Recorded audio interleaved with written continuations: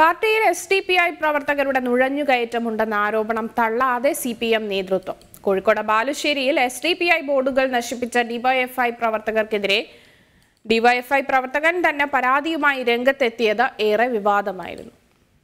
ബാലുശ്ശേരിയിൽ S T P ഐയുടെയും മുസ്ലിം ലീഗിന്റെയും ബോർഡുകൾ കീറിയെന്നാരോപിച്ചാണ് ഡിവൈഎഫ്ഐ പ്രവർത്തകൻ ജിഷ്ണുവിനെ ക്രൂരമായി മർദ്ദിച്ചത്.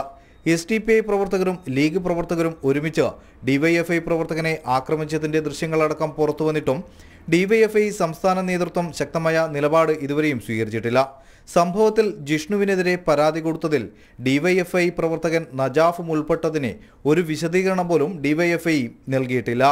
ഈ ഘട്ടത്തിലാണ് സി പി എമ്മിനുള്ളിൽ ജിഹാദി ശക്തികൾ നുഴഞ്ഞുകയറിയിട്ടുണ്ടെന്ന ആരോപണങ്ങൾ ശരിവെക്കുന്ന തരത്തിൽ സംസ്ഥാന സെക്രട്ടറി കോടിയേരി ബാലകൃഷ്ണന്റെ പ്രതികരണം. പാർട്ടിയിൽ എസ് പി ഐ പോലുള്ള തീവ്രവാദ സംഘടനാ പ്രവർത്തകർ നുഴഞ്ഞുകയറിയിട്ടുണ്ടാവാം സംഭവത്തിൽ പരിശോധന ഉണ്ടാവുമെന്നും കോടിയേരി പറഞ്ഞു.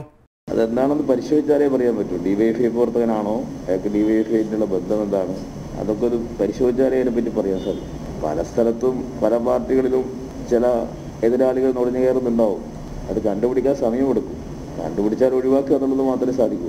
പരിശോധന എന്തെങ്കിലും റിപ്പോർട്ട് വരുമ്പോഴല്ലേ നടത്താൻ സാധിക്കും. അല്ലാണ്ട് ഓരോരാളെ പിന്നാലെ നിങ്ങൾ എന്താ ചെയ്യുന്നത് ചെയ്യുന്നത് അന്വേഷിച്ച് എടുക്കാൻ പറ്റും. അതൊരു സാധിക്കുന്ന കാര്യമല്ലല്ലോ. എന്തെങ്കിലും വർഷം വരുമ്പോൾ പരിശോധിക്കും. ആർ എസ് എസിനെ നിരന്തരം വിമർശിക്കുന്ന ഡിവൈഎഫ്ഐ അഖിലേന്ത്യാ പ്രസിഡന്റ് എ എ റഹീം പോലും എസ് ടി പി ഐക്കെതിരെ രംഗത്ത് വന്നിട്ടില്ല. ഡിവൈഎഫ്ഐയുടെ ജിഗാദി ശക്തികളോടുള്ള മൃദു സമീപനമാണ് ഇതിന് കാരണമെന്നാണ് വിമർശനം. എന്നാൽ കാലങ്ങളായി സി പി എമ്മിനുള്ളിൽ ജിഹാദി ശക്തികൾ പിടിമുറക്കുന്നു എന്ന ബി ജെ പിയുടെ ആരോപണങ്ങൾ ശരിവെക്കുന്നതാണ് സി പി എമ്മിന്റെ പുതിയ നിലപാട്. ജനം തിരുവനന്തപുരം.